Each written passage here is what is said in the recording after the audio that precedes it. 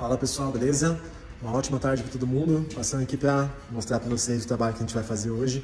É, na verdade, eu vou finalizar uma tatuagem que eu já tinha começado umas semanas atrás. E a gente vai finalizar esse trabalho, essa parte que a gente já fez, na parte externa do braço. E hoje a gente vai encaixar o decalque para finalizar essa parte da asa. Então, daqui a pouquinho a gente começa, estou preparando o material aqui. Daqui a pouco eu mostro para vocês como é que ficou esse trabalho cicatrizado e a continuação, beleza? Então acompanha aí.